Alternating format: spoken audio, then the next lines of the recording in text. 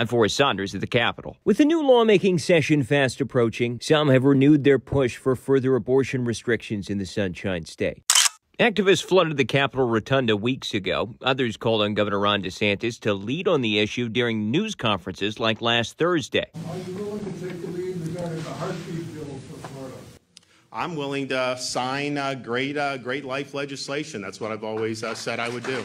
But actually getting a bill on the governor's desk seems uncertain at the moment, despite interest. There you go. Like every bill, how can we um, how can we negotiate something that makes sense and that can pass? Senate President Kathleen Passidomo recently told reporters she'd support a 12 week ban with exceptions for rape and incest, noting around 80% of Florida's abortions are performed in that time frame.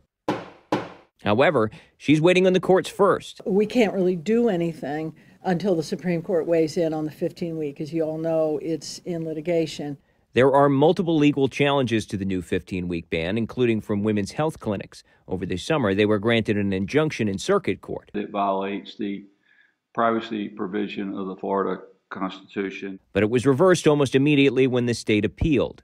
It now awaits the High Court's opinion. Justices mulling whether to uphold the injunction with no clear schedule for a decision. I'll tell you that most Americans support abortion access, as do most Floridians.